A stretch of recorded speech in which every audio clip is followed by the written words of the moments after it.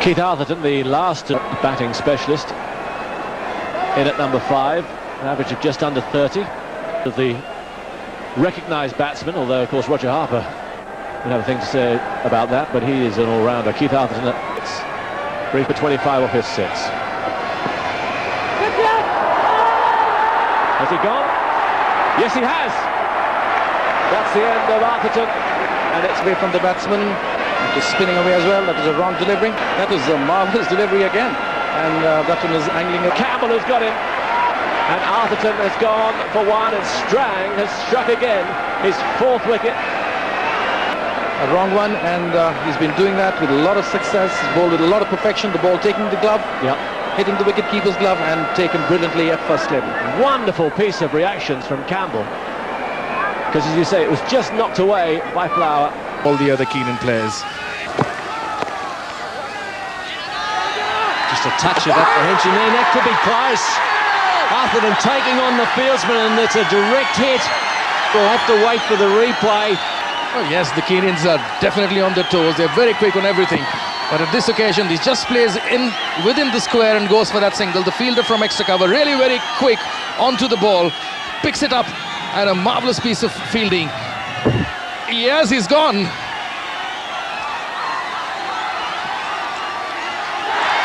And look at that, look at that jubilation, look at the Kenyan side. Four West Indian batsmen gone, just for... And follow that wicket. And He's playing the extended batting lineup today. Big shout there and another LBW.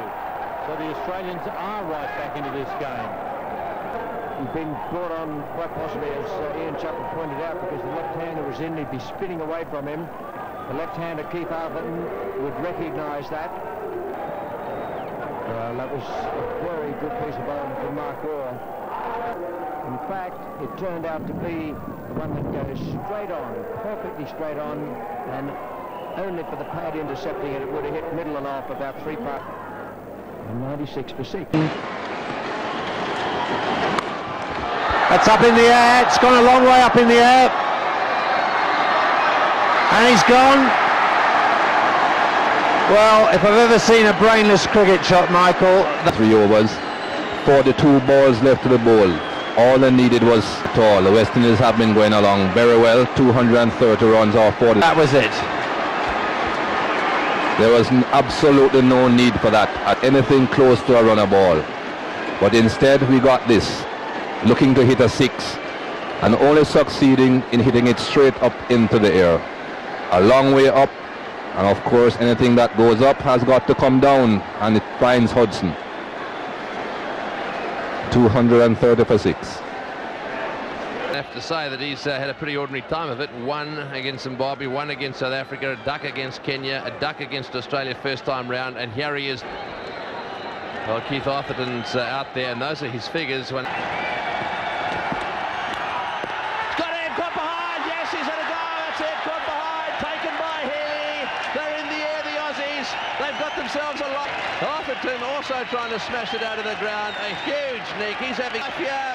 This game's not over yet. A nightmare with a bat. This is how it happened.